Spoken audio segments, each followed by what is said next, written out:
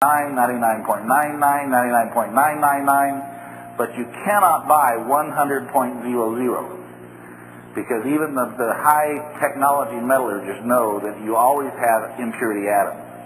But we were fortunate enough, we were able to get rid of all the iron, all the silicate, all the aluminum, and then he says, Dave, there is no absorption or emission spectra in the sample that agrees with any standards we have here at Cornell University. And I said, wait a minute. Aren't you the man that said you could analyze down to three to five parts per billion? I don't want to know parts per billion. I have 100% something, and I want to know what that is. And he just said, Dave, I can't help you. I don't know what it is. So I came back to Arizona, and we were doing some metallurgical studies with it. And we found out that it, when we melted it with lead, it was settled at the bottom of lead.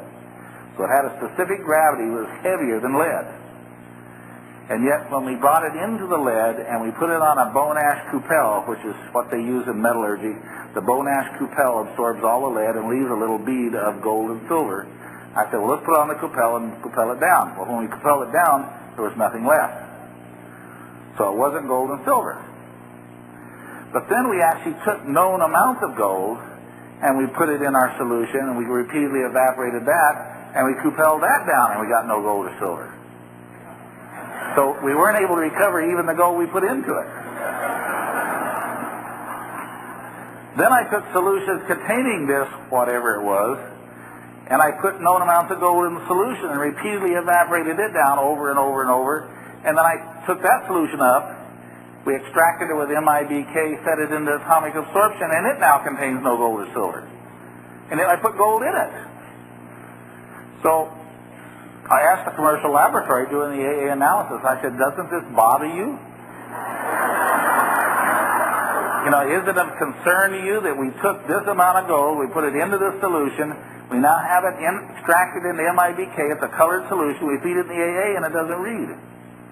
Doesn't that bother you? And they said, not at all.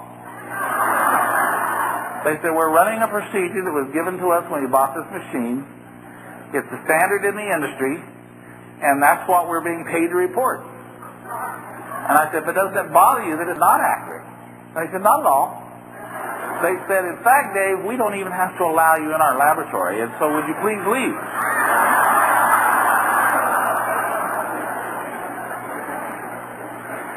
Now, the gentleman back at Cornell University had also said, Dave, if you'll give us $350,000, we'll put some graduate students to studying it. And I decided for $350,000, I can figure out more than you can figure out. And I don't know anything.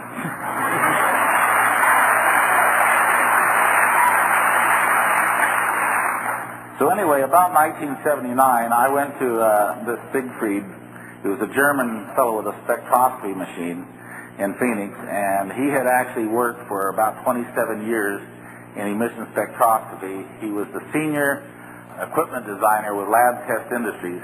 He actually engineered and blueprinted and designed emission spectroscopic equipment, and then he went out in the field and set them up and made them work for specialty orders that came into Lab Test down in L.A. And when he retired from the company, he had designed and built a three and a half meter machine and this is a huge machine. For most of you who are familiar with emission spectroscopy, most machines that are in the universities are about one and a half meter, and this one was three and a half meter, which means the arc was huge, you know, that, that the light is projected on when it does the diffraction experiment. And the great thing about a three and a half meter emission spectroscopy machine is it really separates the line spectra when it goes through the machine.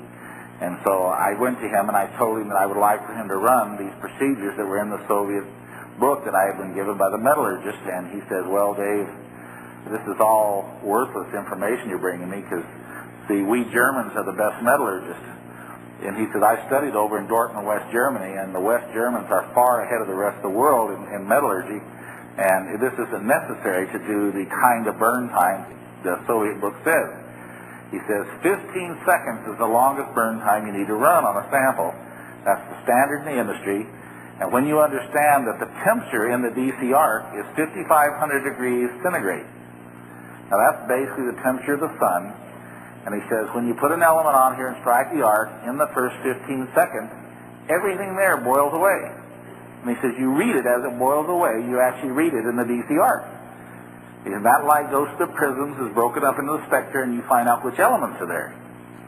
He says, so Dave, you know, the Russian book says you you burn it for 300 seconds. He says, this is preposterous. In 15 seconds, we get everything. And I said, well, this, you know, this is the Soviet Academy of Sciences, the Vernadsky Institute for Precious Metal Research, a government-funded laboratory that says burn it for 300 seconds. So just do me a favor, and let's just spend my money and burn it for 300 seconds.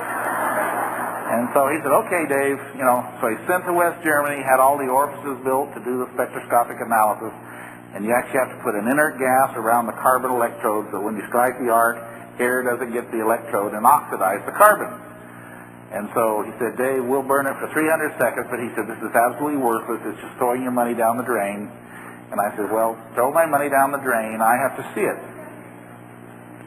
Well, when he set this machine up and did it the way the Soviet Academy of Sciences said, he struck the arc, and in the first 15 seconds, we read iron, silica, aluminum, traces of calcium, traces of titanium, and that was it. Nothing else. But you look in while that arc is still burning, and sitting there on the electrode is a glowing white ball of material. And still sitting there on top of the electrode. And the arc's just going to be all around it, and it's just sitting there, nothing reading. And it doesn't read for 20 seconds, it doesn't read for 25 seconds, it doesn't read for 30 seconds, it doesn't read for 35 seconds, it doesn't read for 40 seconds, 45 seconds, 50 seconds, 55 seconds, 60 seconds, 65 seconds, and then at 70 seconds, exactly when the Soviet Academy of Sciences book said it would read, palladium begins to read. And then platinum, and then ruthenium, and then rhodium, and then iridium, and then osmium. They actually read in the sequence of their boiling temperatures, exactly as the Soviet Academy of Sciences said they would read. Now, you know, the guy just says, my gosh, Dave, get out of my lab. And he actually sent me away while he reproduced this work for about three and a half weeks, all on his own. And he called him back up, and actually he didn't call, his wife called me up. And she says, Dave, Siegfried wants me to call and apologize. Now Siegfried, you know, German Eagle, he couldn't call me and apologize for himself. He had his wife call him. Anyway, he, he ran this material over and over and over, and he checked every spectral line. He wanted to be absolutely certain with this material. He checked every possible interference. And he says, Dave, it's these elements. It is these elements. Well, I came back and worked with him about two years after that, and we actually worked with this and worked with it until we got, we actually had standards that exactly equaled our unknown material.